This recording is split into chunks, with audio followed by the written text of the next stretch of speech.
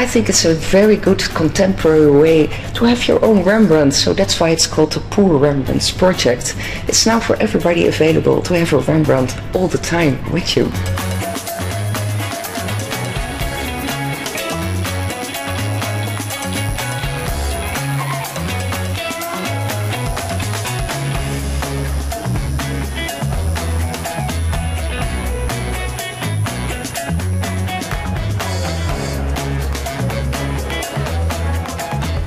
Het canvas is natuurlijk anders. Het canvas kan tegen je praten, kan te veel bewegen, kan gaan zweten, kan zelfs flauw vallen. Dat, dat kan bij Rembrandt niet voelen.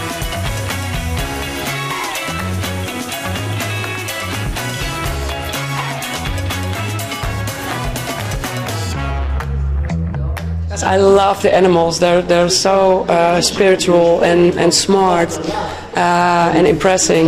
And uh, Rembrandt also made Hanske, the first elephant in, uh, in Europe.